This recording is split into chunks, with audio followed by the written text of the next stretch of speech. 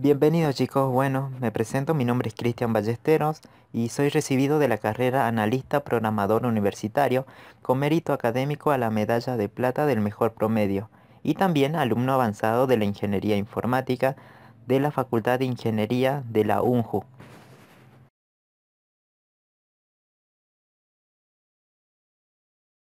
Bienvenidos chicos a este nuevo video, en este video vamos a resolver el punto número 5a. ¿Sí? Me pide hay encontrar la derivada de la ecuación paramétrica. Tengo la ecuación paramétrica y encontrar su derivada. ¿Cómo hago para encontrar la derivada paramétrica? Es fácil esto. Fíjense aquí, yo tengo que x está en función de quién? De t. Entonces a esto yo lo voy a llamar que es mi f, una función evaluada en t. ¿Sí? Le doy un nombre. Esto se va a llamar todo f. Bien. A la siguiente le vamos a dar otro nombre distinto, le vamos a poner que se llame g en función de t, porque está en función de lo que vale la variable t. t qué es? Es el parámetro de la ecuación paramétrica. Bien, una vez que hayan identificado f y g, si generalmente la primera y g es la segunda, f la primera y g la segunda. Bien, dice que hay que encontrar la derivada de x respecto de la t. Bien, o sea que me está pidiendo en esto. Me está pidiendo que derive esto cuál es la derivada de x y cuál es, cuál es la derivada de x con respecto a la letra t. Y derivada de y con respecto a la t también. Entonces hay que derivar esta expresión y hay que derivar esta expresión. Bien. Acuérdense, ahora yo lo único que hice es cambiarle de nombre. f, la función en t es igual a qué? A esta expresión. ¿Que sería cuánto? 3 por t al cuadrado más 5. ¿Cuál es la función g de t? La función g de t es igual a t a la 5 menos 4 por t al cuadrado. Bien, ¿cuál es la derivada entonces? ¿Cuál es la derivada de la primera función? Que sería derivada de x. ¿sí? ¿Cuál es la derivada de esto? Bien, la derivada de esta expresión es igual a qué? Entonces la derivada de f de t va a ser igual a qué? La derivada va a ser, separamos en términos, la derivada baja el 2, 2 por 3 me da 6, 6 a la t, al 2 le resto 1 me queda en 1, entonces ya está, derivada no constante 0. Ahora lo siguiente que hacemos es derivamos la otra expresión, ¿cuál es la derivada de la función g? Que sería esta, ¿sí? ¿cuál es la derivada? ¿Sí? g de t de la otra función es igual a qué? La derivada separamos en términos más fácil, derivada de t a la 5 es bajo el 5 y al multiplicado por t y al 5 le resto 1, que sería 4 menos, este 4 está multiplicando la función, entonces constante. Este 2 baja o no, ¿sí? 4 por 2 me da 8. Bien, y me queda por quién? Por t y este 2 le resto 1, entonces ya tengo la derivada. Bien, ya obtuvimos la derivada. Bien, borro esto porque solamente vamos a trabajar con la derivada. Ya tengo la derivada de la primera, que es esto, la derivada de la segunda, que es esto. ¿Sí? Acuérdense, yo lo único que hice es darle un nombre distinto, f y g nada más. ¿Sí? Porque son dos funciones completamente distintas. Pero evaluada en t. Y eso es lo que me está pidiendo. Esta es la derivada, es esto. La derivada de y es esto. Ahora me pide la derivada de y con respecto de x. ¿Sí? La fórmula es así. La derivada de y con respecto de x es que es un cociente entre qué? Entre la la derivada g que yo calculé sobre la otra derivada, que es la derivada de la primera función. ¿Sí? O sea, es la derivada de y con respecto de x es que yo ponga de esta función su derivada primero. ¿sí? Y esta lo voy a poner segundo. ¿sí? Hay un cociente. Esta es la fórmula para hacer la derivada. Bien, entonces aplicamos, yo digo que la derivada de y con respecto a la letra x es igual a, la derivada de g de t, pero g de t no vale esto, que sería 5t a la 4 menos 8t, ¿sí? ¿Sobre qué? f de t, que era la primera, que era 6t. ¿Sí? Sigan los pasos nada más, son pasos. Entonces ahí tenemos. Fíjense acá arriba, ¿qué podemos sacar? No podemos sacar factor común, apliquen cualquier herramienta matemática, ¿sí? Puedo sacar factor común o no, de este miembro y este factor común t. Factor común t me quedaría para el primero 5t a la tercera, se reduce 1, menos 8, porque la t se fue entonces, me queda menos 8, sobre 6t que está abajo. t con t se va, se desaparecen por simplificación y me queda esta expresión. Entonces el resultado de la derivada de y con respecto de x es esta expresión. Bien. Ahora, ¿qué me está pidiendo también? Me pide la derivada, el diferencial de y con respecto de x. ¿sí? O sea, ¿cuál sería esto? Bien, ¿cómo calculo esto? La derivada, o sea, el diferencial segundo de y con respecto de la x. Esto se calcula así. Bien, vamos a borrar primero eh, esto que tenemos aquí. ¿sí? Y esta también la ecuación. Lo vamos a borrar para tener más espacio. Otra era diferencial de i, c, la 4 menos 8, t. Bien, ahí está. ¿Cómo calculo el diferencial de i al cuadrado por x? Sería igual a qué? ¿Cómo calculo el, siguiente? Acuérdense que tengo diferencial de i respecto de x. Acá me pide el diferencial segundo. ¿Sí? ¿Sí? Acá está diferencial. Es un 2. ¿Cómo se calcula? Es igual también a un cociente. ¿Sí? ¿El cociente entre qué? Entre el diferencial que recién calculé, este es el diferencial que recién calculé, entonces acá irá diferencial de y sobre el diferencial de x.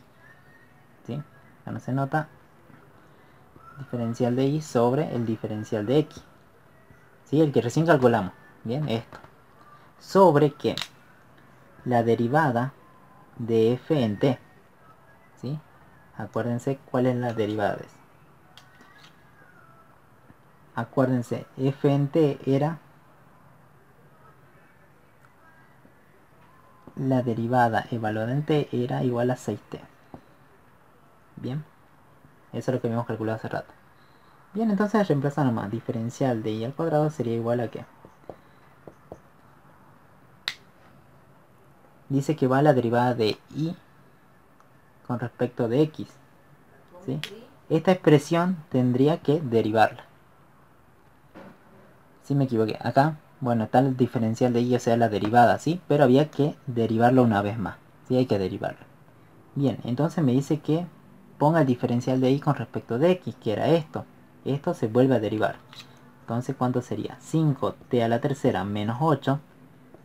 Todo dividido entre 6. Esto dice que hay que derivarlo de vuelta.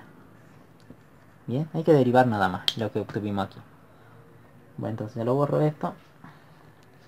Sobre f, la derivada de f en t. f en t era 6t. Esto no se deriva, pues ya estaba. Bien. Ahora entonces, ¿cuánto me quedaría? Bien, el diferencial de y al cuadrado sobre diferencial de x es igual. Tengo que derivar esta expresión. Si acá es 5, ¿no? 5 por t. 5 por t.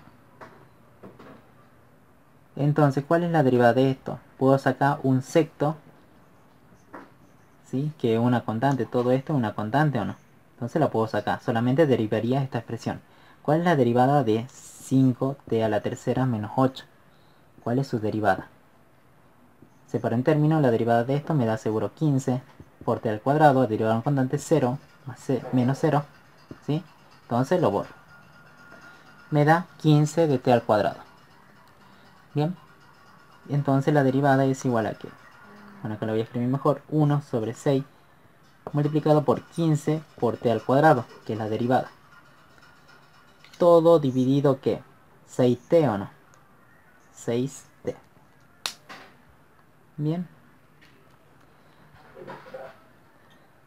Entonces borremos lo anterior.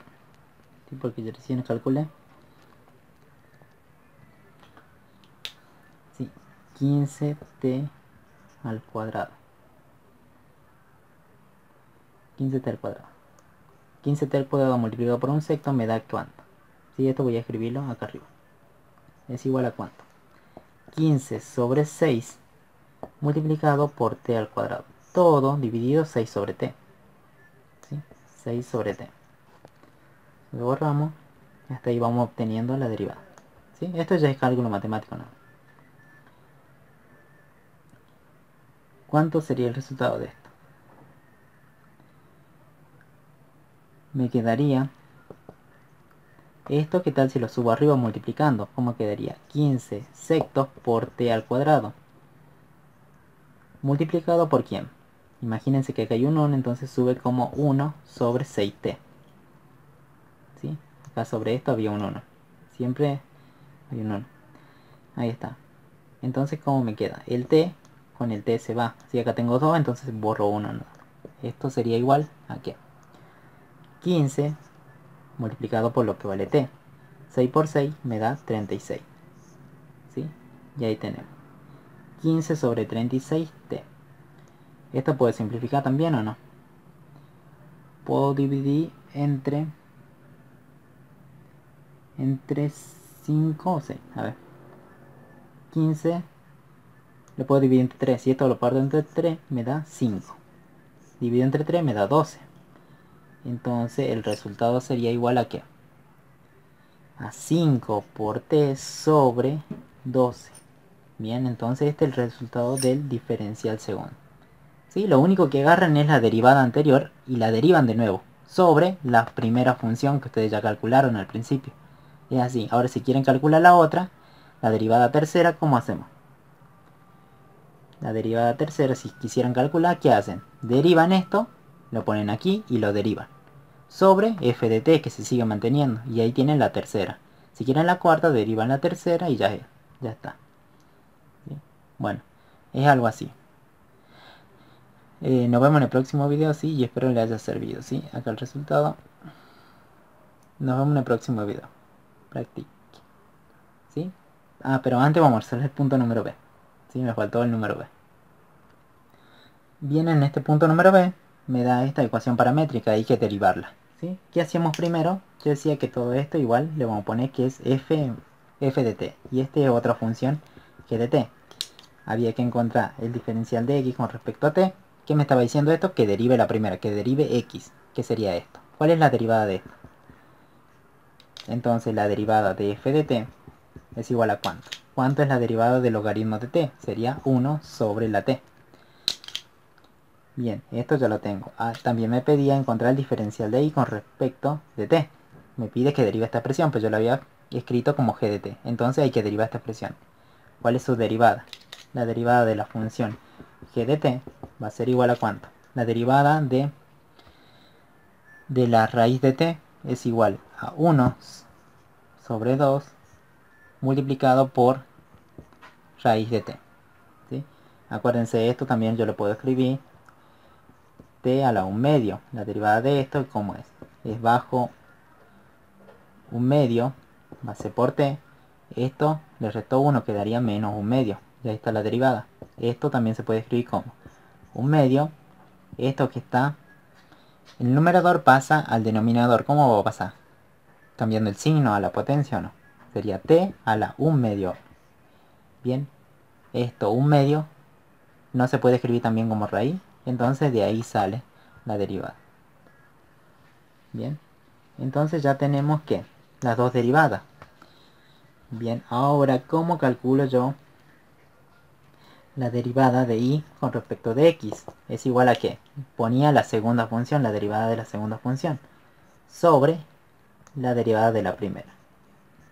¿Sí? f de t. Bueno, pongamos a ver. La derivada de g de t. La derivada de g de t es 1 1 sobre 2 por raíz de t. Todo dividido f de t. f de t vale 1 sobre t. Bien. Entonces el diferencial de y va a ser igual al diferencial de x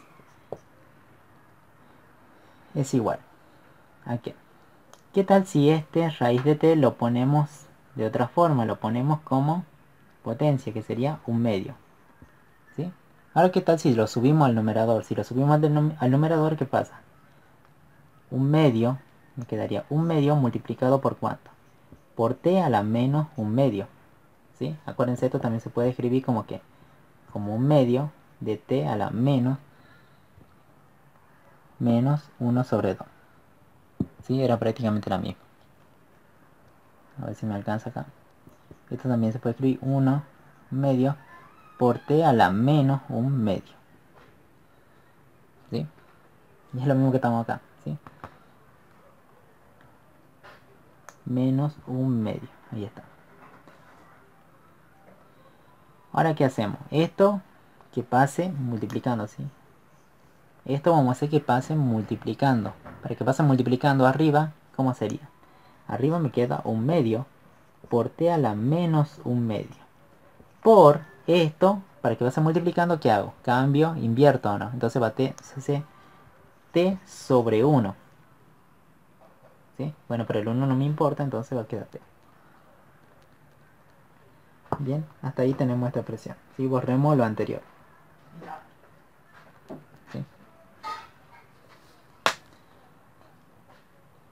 Entonces ahí vamos calculando. Fíjense acá, tengo un medio. Estos no son potencias de igual base, entonces sumo el exponente. 1 menos un, más menos un medio, ¿cuánto sería? Sería multiplicado por t a la cuánto? 1 menos un medio sería un medio. Bien, entonces ahí tengo el resultado de la primera derivada. Bien. Bueno, esto vamos a borrar. Ya tengo el resultado de la primera derivada. Esto es igual a cuánto. Esto era la derivada de y respecto de la x. Es igual a todo esto. Ahora, ¿cómo calculo? Me pide el diferencial segundo de con respecto de x. De y con respecto de x. ¿Cómo se hace? La derivada anterior que yo calculé, ¿sí? La vuelvo a derivar. O sea, va a ser que, vamos a poner entre paréntesis que la derivada anterior, que era un medio por t a la elevada a la un medio. Eso se tiene que volver a derivar. ¿Sobre qué? Decía la fórmula. Sobre f de t. F de t yo ya la tenía acá, ¿o no? Bien. Entonces, calculemos. ¿Cuál sería la derivada de esta expresión? Derivada diferencial segundo de y sobre el diferencial de x es igual a cuál. ¿Cuál es la derivada de esto? La derivada de esta expresión sería igual. Un medio diferencial un medio por t elevado a un medio. ¿Cuál es la derivada? La derivada como esto es constante, ¿sí? se mantiene en el segundo. Vamos a derivar solamente esta función. Bajo un medio multiplicado por un medio. Por t a esto le resto 1, sería menos un medio. Y ahí tenemos la derivada. Esto seguro me va a dar un medio por un medio, me da un cuarto. Sin cuarto por, por t elevado a la menos un medio. Entonces va a ser un cuarto, que recién me dio por, esa es la derivada. Por t a la menos un medio. Dividido f, la función f. La derivada de la función f no era 1 sobre t, entonces voy a poner 1 sobre t. Bien. Ahora, ¿qué tal si hacemos que esto suba? ¿Sí? 1 sobre... Acá era 1 sobre t. Si esto lo invierto, que pase multiplicando acá arriba. Sería igual a qué? Arriba seguro queda lo mismo, que sería un cuarto multiplicado por t a la menos un medio. ¿Sí?